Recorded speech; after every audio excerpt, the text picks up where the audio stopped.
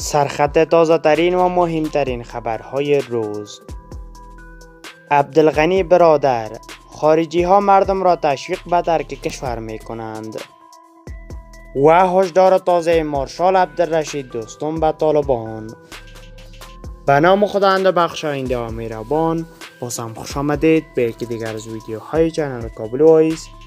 تقاضا می نماییم که تا آخرین خبر با ما همراه بوده channel ما را subscribe نمایید. مشروع خبر روزنامه اطلاعات روز در برگه رسمی فیسبوک خود می نویسد. عبدالغنی برادر خارجی ها مردم را تشویق به ترک کشور می کنند عبدالغنی برادر معاون اقتصادی نخست وزیر طالبان می گوید که خارجی ها مردم افغانستان را تشویق به ترک کشور می کنند آقای برادر امروز چهارشنبه افت سرطان در سخنرانی که پس از نماز عید قربان در ارگ انجام شده گفته است خارجی ها هنوز مردم افغانستان را آرام نمی‌گذارند.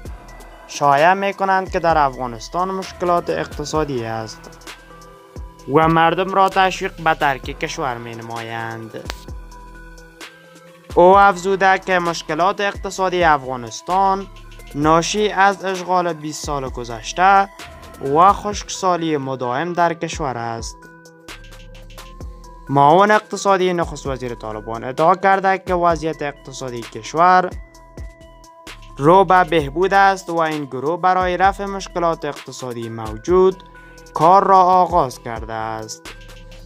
این در حالی است که بر اساس آمار دفتر هماهنگ کننده کمک های بشر دوستانه سازمان ملل متحد یا اوچا 28.8 میلیون نفر در افغانستان نیازمند کمک هستند.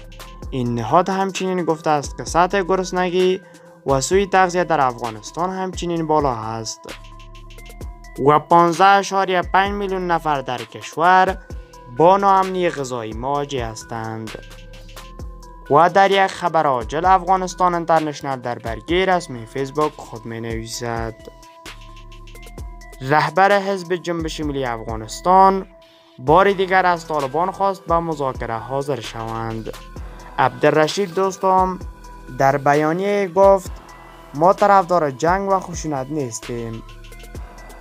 اما اگر گزینه دیگری باقی نماند در آن صورت این بار مسئولیت خونریزی و جنگ را به دوش نخواهیم گرفت. با تشکر از اینکه تا آخرین خبر با ما همراه بودید جهت حمایت کانال یوتیوب کابل را سابسکرایب نمایید.